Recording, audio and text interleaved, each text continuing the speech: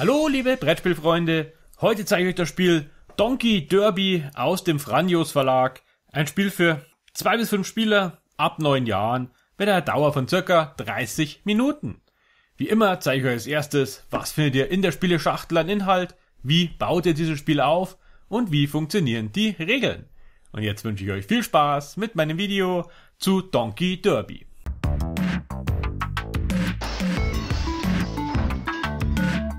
In der Spieleschachtel findet ihr folgenden Inhalt.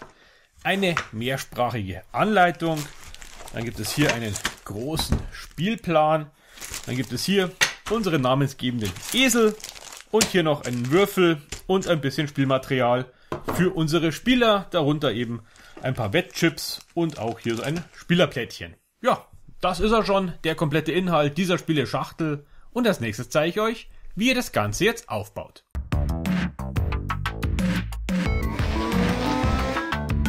Der Spielaufbau funktioniert wie folgt. Ihr braucht auf jeden Fall immer alle Esel und die stellt ihr einfach mal in beliebiger Reihenfolge hier auf dieses Startfeld drauf. Die Spieler besitzen also nicht eine Farbe, sondern es wird mit allen Farben gleichzeitig gespielt. Und da müssen die Spieler eben darauf wetten, wer als erster wohl ins Ziel kommt. Dazu bekommt jeder Spieler hier so einen Marker, dass er weiß, welche Farbe er spielt. Und dann noch drei dieser Wettenmarker, die er im Laufe des Spiels dann eben einsetzen kann und seine Wetten platzieren, welcher Esel er glaubt, dass als erstes ins Ziel kommt. Ja, den Würfel legen wir auch noch bereit und damit haben wir den Spielaufbau auch schon erledigt und ich lese euch mal die Spielidee vor.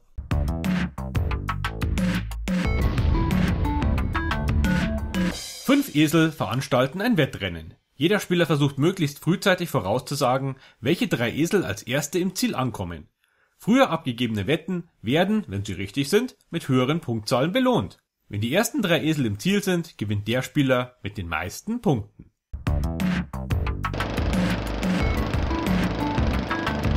Ein Spieler macht den Startspieler und beginnt das Spiel mit einer Wettrunde.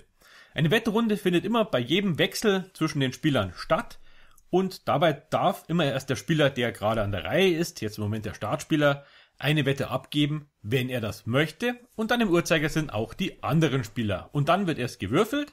Nach dem Würfeln wechselt es dann zum nächsten Spieler. Es kommt wieder eine Wettrunde. Der Spieler, der dann den Würfel hat, darf als erster wetten. Dann wieder im Uhrzeigersinn die anderen Spieler. Und auch dann wird dieser Spieler, der jetzt gerade den Würfel hat, würfeln und die Esel bewegen. Also wichtig ist immer, eine Wette kommt immer bevor man würfelt. Und deswegen muss sich jetzt der Startspieler überlegen, unser Spieler grün möchte ich schon mal eine Wette abgeben. Momentan stehen alle Esel am Start. Ist vielleicht eher schwierig, jetzt schon eine Prognose abzugeben, wer das Rennen machen wird. Aber wer natürlich frühzeitig wettet, kriegt die besseren Plätze, die dann auch mehr Punkte wert sein werden. Ist natürlich auch dann viel risikoreicher. Natürlich kann man, wenn man sich schon mal festlegt, dass dieser Esel gewinnen muss mit dieser Farbe, sich beim Würfeln schon mal darauf konzentrieren, diesem Esel halt besonders viel abzugeben. Allerdings werden dann die Mitspieler diesem Esel natürlich auch besonders wenig Würfelaugen abgeben, um ihn zu bewegen. Das ist ein lustiger Teufelskreis, wo man eben schauen muss, wann wette ich oder wann wette ich nicht.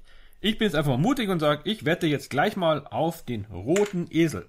Die erste Wette geht immer von oben nach unten, sieht man auch hier an den Pfeilen. Das heißt, das erste kommt hier auf das Win-Feld drauf.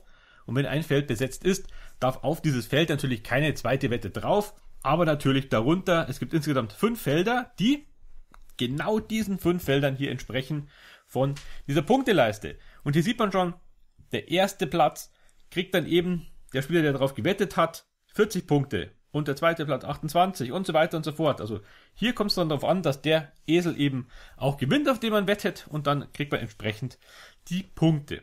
Das ist ganz cool gemacht, weil am Schluss schiebt man einfach diese Sachen von den ersten drei Plätzen hier auf diese Felder rüber und dann kann man genau ablesen, welcher Spieler wie viele Punkte gemacht hat. Das ganze Spiel läuft eh relativ schnell, das können wir mal ganz kurz durchspielen.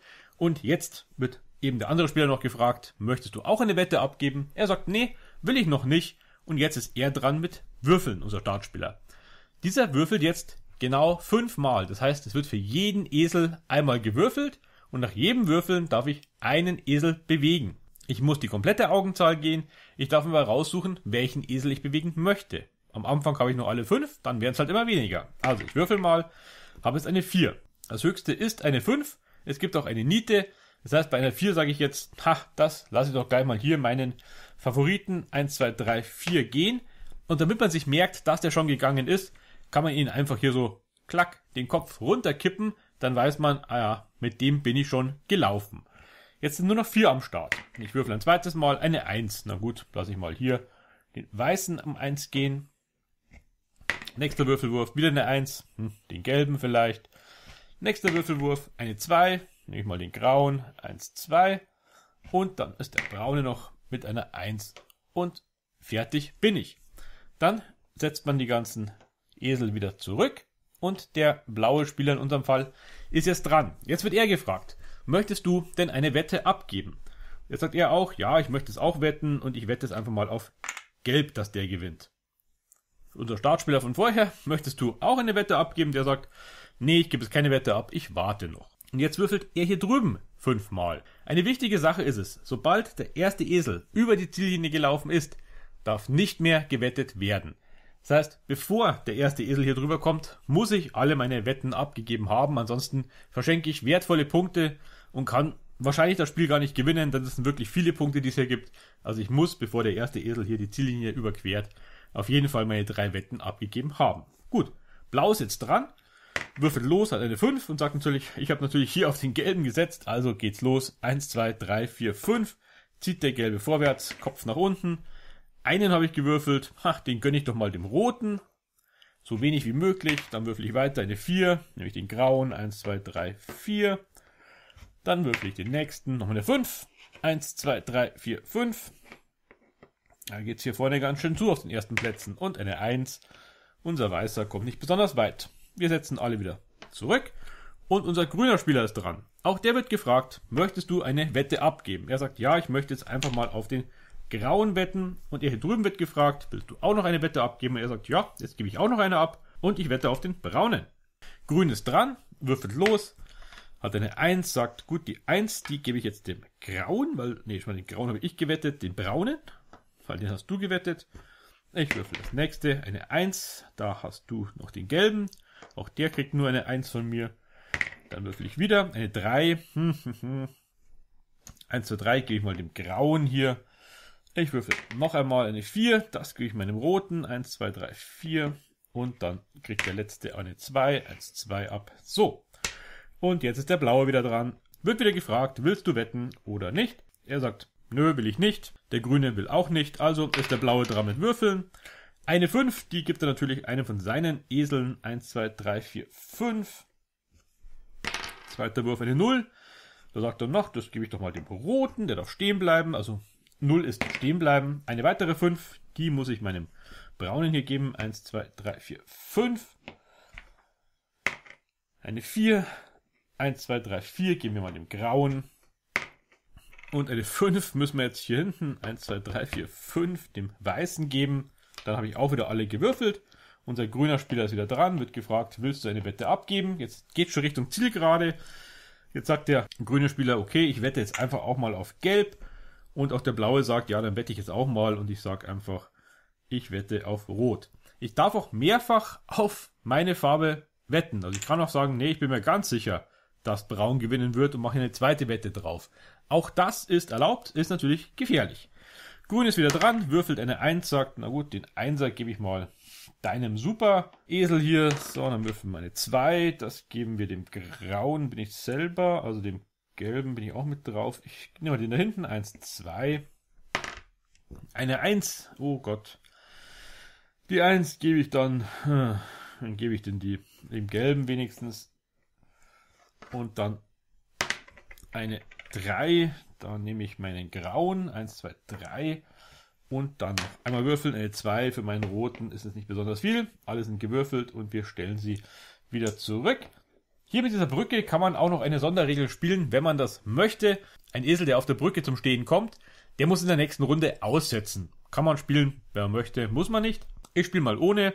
Wetten können wir nicht mehr, also ist der blaue Spieler dran, würfelt eine 1, die 1 gibt er dem grauen, er würfelt eine 2, die gibt er dem roten, er würfelt eine 4, die gibt er seinem braunen, 1, 2, 3, 4, Und dann haben wir noch den gelben und den weißen. Dem weißen gibt er die 0 und dem gelben die 1. Und schon haben wir wieder alle durch. Wieder alle zurückstellen. Der grüne Spieler ist dran. Gewettet wird nicht mehr. Eine 1, die gibt er dem, ups, dem braunen.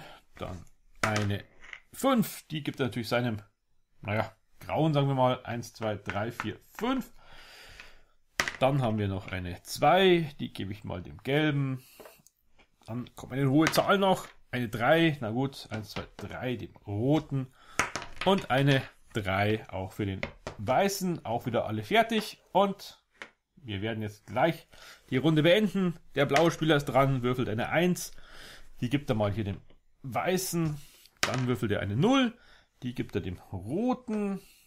Dann würfeln wir eine 4. Die gibt er natürlich 1, 2, 3, 4 hier seinem braunen. Wir würfeln eine 1. Die gibt er dem gelben. Und der letzte ist der graue. Jetzt schauen wir mal, ob das Spiel vorbei ist. Also nicht vorbei, sondern der Sieger feststeht. Ja. Wir kommen über die Ziellinie. Überzählige Punkte verfallen. Und wer hier drüber ist, kommt einfach auf die entsprechende Platzierung drauf. Jetzt darf nicht mehr gewettet werden. Jetzt werden nur noch weitere zwei Tiere ins Ziel gezogen. Das heißt, unser grüner Spieler ist wieder dran. Er würfelt eine 1 gibt er mal den weißen. Er würfelt eine 4. Da holt er mal sein rotes. 1, 2, 3, 4 nach vorne. Er würfelt eine 0. Jawohl, die gibt er dem braunen. Und er würfelt eine 1 für den gelben. Und fertig ist es. Jetzt ist unser blauer Spieler nochmal dran. Er würfelt natürlich mal eine 0. Die gibt er dem roten. Er würfelt eine 5. Sagt er, das ist wurscht. 1, 2, 3, 4, 5. Zweiter Platz für Gelb und ich würfel hoffentlich nochmal eine 0. Dann hier für den Weißen und eine 3 auch hierfür. Es sind alle im Ziel. Wir haben also drei Stück im Ziel. Unsere Sieger stehen fest. Jetzt werden einfach die Siegermarker rübergeschoben. Also die beiden braunen hier drauf. Die vom gelben hier drauf. Und die vom grauen hier drauf. Die Spieler zählen ihre Punkte zusammen und schon weiß man, wer das Spiel gewonnen hat.